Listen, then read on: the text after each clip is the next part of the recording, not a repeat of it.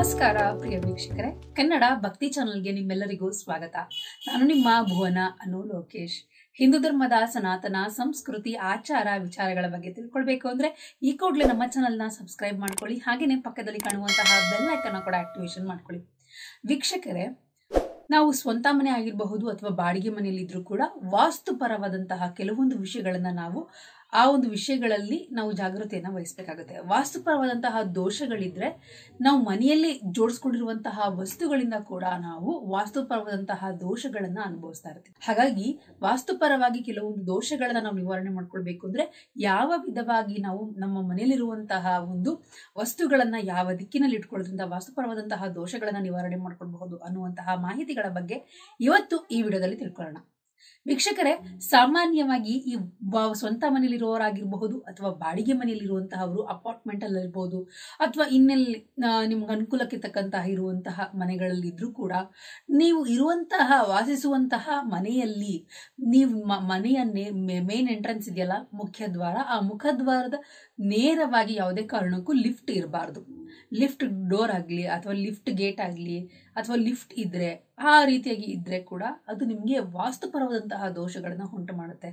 ಅದು ಈ ಒಂದು ಏನಂತಾರಲ್ಲ, ಅದು ಮಿರರ್ಗೆ ಸಂಬಂಧಪಟ್ಟಂತಹ ಒಂದು ವಸ್ತುಗಳು ತರ ರಿಫ್ಲೆಕ್ಟ್ ಆಗುವಂತಹದ್ದಾಗಿರೋದ್ರಿಂದ ಅದು ನಮಗೆ ವಾಸ್ತುಪರವಾದಂತಹ ದೋಷಗಳನ್ನು ಉಂಟು ಮಾಡುತ್ತೆ. ಹಾಗಾಗಿ ಆ ದೋಷವನ್ನ ನಿವಾರಣೆ ಮಾಡ್ಕೊಳ್ಬೇಕು ಅನ್ನೋದಾದರೆ ಆ ಒಂದು ಲಿಫ್ಟ್ನ ಜಾಗದಲ್ಲಿ ನೀವು ಸ್ವಸ್ತಿಕ್ ಗುರುತನ್ನ ಹಾಕೊಳ್ಳೋದು. ಇಲ್ಲಾಂದ್ರೆ ನಿಮ್ಮ ಮೇನ್ ಎಂಟ್ರೆನ್ಸ್ ಹತ್ರ ನೀವು ಸ್ವಸ್ತಿಕ್ ಗುರುತನ್ನ ಹಾಕೊಳ್ಳೋದ್ರಿಂದ ಆ ಒಂದು ವಾಸದೋಷದಿಂದ ನೀವು ನಿವಾರಣೆಯನ್ನ ಪಡ್ಕೊಳ್ಬಹುದಾಗಿದೆ. ಹಾಗೇನೆ ಇನ್ನು ಮನೆಯಲ್ಲಿ ಮೇನ್ ಎಂಟ್ರೆನ್ಸ್ಗೆ ಎಂಟ್ರೆನ್ಸ್ ಆಗ್ತಿದ್ದ ಹಾಗೇನೆ ನೇರವಾಗಿ ಮೇನ್ ಎಂಟ್ರೆನ್ಸ್ ಕೊಳಕ್ ಹೋಗ್ತಾ ಇದ್ದಾಗೇನೆ ನಿಮ್ಗೆ ಏನಾದ್ರು ಡೈನಿಂಗ್ ಟೇಬಲ್ ಎದುರುಗಡೆ ಇದ್ರೆ ಆ ರೀತಿಯಾಗಿದ್ರು ಕೂಡ ಅದು ವಾಸ್ತುಪರವಾದಂತಹ ದೋಷಗಳಾಗಿರುತ್ತೆ. ಹಾಗಾಗಿ ಯಾವುದೇ ಕಾರಣಕ್ಕೂ ಮೇನ್ ಎಂಟ್ರೆನ್ಸ್ಗೆ ಕರೆಕ್ಟ್ ಆಗಿರುವ ಹಾಗೆ ಡೈನಿಂಗ್ ಟೇಬಲ್ಗಳನ್ನು ಇಟ್ಟಿರಬಾರ್ದು. ಹಾಗೇನೆ ಇನ್ನು ಅಡಿಗೆ ಮಾಡುವಂತಹ ಜಾಗದಲ್ಲಿ, ಅಡಿಗೆ ಮನೆಯಲ್ಲಿ ಯಾವುದೇ ಕಾರಣಕ್ಕೂ ಮಿರರ್ ಅನ್ನ ಕೂಡ ಹಾಕಬಾರ್ದು. ಅದು ಪ್ರತಿಕೂಲ ಶಕ್ತಿಗಳನ್ನ ಪ್ರಸರಿಸಿರೋದ್ರಿಂದ, ಪ್ರಸಾರ ಮಾಡ್ತಾ ಇರೋದ್ರಿಂದ ಆ ಒಂದು ಪ್ರತಿಕೂಲ ಶಕ್ತಿ ನಾವು ನಮ್ಮ ಆರೋಗ್ಯದ ಮೇಲೆ ಬೀಳುತ್ತೆ. ಯಾಕಂದ್ರೆ ನಾವು ತಿನ್ನುವಂತಹ ಆಹಾರ ಯಾವಾಗಲೂ ಕೂಡ ನಮ್ಮ ಆರೋಗ್ಯಕ್ಕೆ ಪರವಾದಂತಹ ಒಂದು ಉತ್ತಮವಾದಂತಹ ಆಹಾರ ಆಗಿರಬೇಕು. ಹಾಗಾಗಿ ಅದು ಪ್ರತಿಕೂಲ ಶಕ್ತಿಯನ್ನ ಬೀಳೋದ್ರಿಂದ ಮಿರರ್ ಅನ್ನ ಇಟ್ಕೊಳ್ಬಾರ್ದು. ಇನ್ನು ಡ್ರೆಸ್ಸಿಂಗ್ ಟೇಬಲ್ ಒಂದು ನಿಮ್ಮ ಬೆಡ್ರೂಮ್ನಲ್ಲಿ ಹಾಗೇನೆ ಈ ಒಂದು ಏನು ಬಾತ್ರೂಮ್ನಲ್ಲಿ ನೀವು ಮಿರರನ್ನು ಇಟ್ಕೊಂಡ್ರೆ ಬಹಳ ಅನುಕೂಲ. ಅದರಲ್ಲೂ ಕೂಡ ಮಿರರನ್ನು ಹಾಕೊಳ್ಳುವಾಗ ಈ ಉತ್ತರ ದಿಕ್ಕು ಅಥವಾ ಪೂರ್ವ ದಿಕ್ಕಿನ ಕಡೆಗೆ ಹಾಕೊಂಡ್ರೆ ಯಾವುದೇ ರೀತಿಯಾದಂತಹ ವಾಸದೋಷಗಳು ಕೂಡ ನಿಮಗೆ ಕಾಡೋದಿಲ್ಲ ಹಾಗೆಯೇ ಇನ್ನು ಸ್ವಂತ ಮನೆ ಅಥವಾ ಬಾಡಿಗೆ ಮನೆಯಲ್ಲಿ ಇರೋರಾದರೂ ಕೂಡ ಇನ್ನು ವಾಸ್ತುಪರವಾಗಿ ಸ್ವಂತ ಅಥವಾ ಬಾಡಿಗೆ ಮನೆಯಲ್ಲಿರೋರು, ಈ ಒಂದು ನೀವು ಮಲ್ಕೊಳ್ಳುವಂತಹ ಬೆಡ್ರೂಮ್ನಲ್ಲಿ ಬರುವಂತಹ ಗಾಳಿ, ಕಿಟಕಿಯಿಂದ ಬರುವಂತಹ ಗಾಳಿ ಯಾವುದೇ ಕಾರಣಕ್ಕೂ ನೈಋತ್ಯ ದಿಕ್ಕಿನ ಕಡೆಯಿಂದ ಬರುವ ಹಾಗೆ ಇರುವಂತಹ ಮನೆಗಳನ್ನು ನೋಡಿ ಬಾಡಿಗೆ ಮನೆಯವರಾದರೆ, ಆ ರೀತಿ ಇರುವಂತಹ ಬಾಡಿಗೆ ಮನೆಗೆ ಹೋಗಿ ಹಾಗೆಯೇ ಸ್ವಂತ ಮನೆಯವರಾದರೆ ಆ ರೀತಿಯಾದಂತಹ ಏರ್ಪಾಡುಗಳನ್ನು ಮಾಡ್ಕೊಳ್ಳಿ, ಆ ರೀತಿಯಾಗಿ ನಿಮ್ಗೆ ಧನಪರವಾದಂತಹ ಅನುಕೂಲಗಳು ಹೆಚ್ಚಾಗ್ತಾ ಹೋಗುತ್ತದೆ.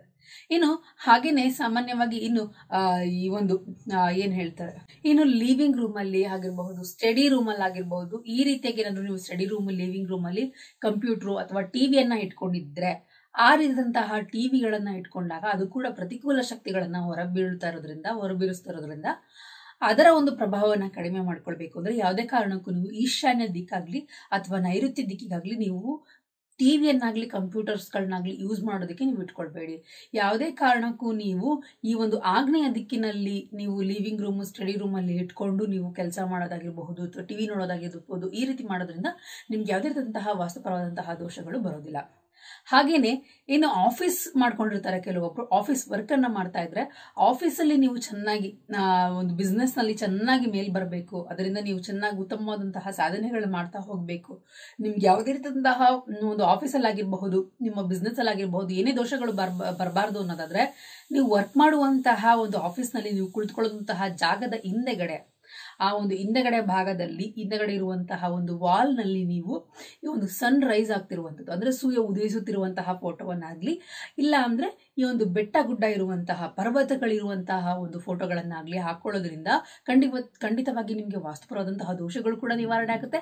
ಹಾಗೆಯೇ ಈ ಒಂದು ಏನೇ ಒಂದು ರೀತಿಯಾದಂತಹ ಒಂದು ಬಿಸ್ನೆಸ್ ಅಲ್ಲಿ ನಿಮಗೆ ಬರುವಂತಹ ಕಷ್ಟಗಳು ಕೂಡ ಕಡಿಮೆ ಆಗ್ತಾ ಹೋಗುತ್ತದೆ.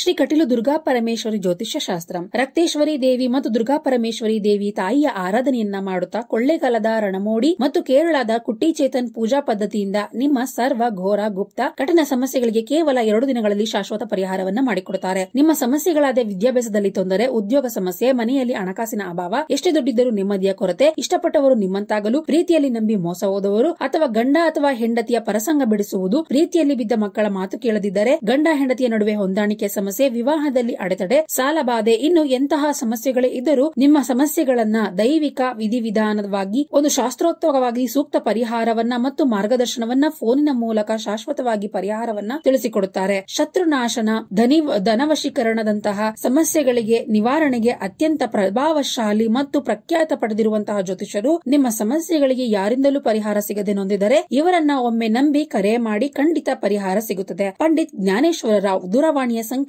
ಎಂಟು ಐದು ನಾಲ್ಕು ಎಂಟು ಒಂಬತ್ತು ಒಂಬತ್ತು ಎಂಟು ಐದು ಆರು ನಾಲ್ಕು. ಹಾಗೇನೆ, ಏನು ಸಾಮಾನ್ಯವಾಗಿ ಇನ್ನು ಮದುವೆ ಆಗುವಂತಹ ಒಂದು ಮಕ್ಕಳು, ಹೆಣ್ಣು ಮಕ್ಕಳಾಗಿರ್ಬೋದು, ಗಂಡು ಮಕ್ಕಳಾಗಿ, ಹೊಸದಾಗಿ ಮದುವೆ ಆಗಿರೋರು ಸಂತಾನ ಪರವಾಗಿ ಆಸೆಯನ್ನ ಇಟ್ಕೊಂಡಿದ್ರೆ, ಸಂತಾನವಾಗಬೇಕು ಅಂದ್ರೆ ನೀವು ಮಲಗುವಂತಹ ಬೆಡ್ರೂಮ್ನಲ್ಲಿ ಈ ಒಂದು ವಸ್ತುವನ್ನ ಯಾವುದೇ ಕಾರಣಕ್ಕೂ ಇಡಬೇಡಿ. ಅಂದ್ರೆ ಹೂ ಬಿಡುವಂತಹ ಗಿಡವನ್ನ ಇಟ್ಕೊಳ್ಬೇಡಿ. ಹಣ್ಣು ಬಿಡುವಂತಹ ಗಿಡಗಳನ್ನು ಇಟ್ಕೊಂಡ್ರೆ ಬಹಳ ಒಳ್ಳೆಯದು. ಹಾಗೆಯೇ ದಾಳಿಂಬೆ ಗಿಡವನ್ನ ದಾಳಿಂಬೆ ಗಿಡ ಹಾಗೂ ದಾಳಿಂಬೆ ಹಣ್ಣಿನ ಒಂದು ಫೋಟೋವನ್ನು ನೀವು ಬೆಡ್ರೂಮ್ನಲ್ಲಿ ಹಾಕೊಳ್ಳೋದ್ರಿಂದ ಖಂಡಿತವಾಗಿ ನಿಮಗೆ ಈ ಒಂದು ಸಂತಾನ ಪರವಾದಂತಹ ದೋಷಗಳು ನಿವಾರಣೆ ಆಗಿ ಆದಷ್ಟು ಶೀಘ್ರದಲ್ಲಿ ನಿಮಗೆ ವಿವಾಹ ವಿವಾಹ ಪೂರ್ ನಂತರದಲ್ಲಿ ನಿಮಗೆ ಶೀಘ್ರದಲ್ಲಿ ಮಗುವಾಗುವಂತಹ ಯೋಗ ಫಲಗಳನ್ನು ನೋಡ್ತೀರಾ. ಈ ವಿಧವಾಗಿ ನೀವು ತಿಳ್ಕೊಂಡ್ರೆ ಅಲ್ವಾ? ಇತರರಿಗೂ ಶೇರ್ ಮಾಡಿ ಅಂತ ಹೇಳ್ತಾ ಎಲ್ಲರಿಗೂ ಒಳ್ಳೆಯದಾಗಲಿ ಧನ್ಯವಾದಗಳು. ಇನ್ನು ಹೆಚ್ಚಿನ ಮಾಹಿತಿಗಾಗಿ ನಮ್ಮ ಚಾನಲ್ ಅನ್ನ ಸಬ್ಸ್ಕ್ರೈಬ್ ಮಾಡ್ಕೊಳ್ಳಿ.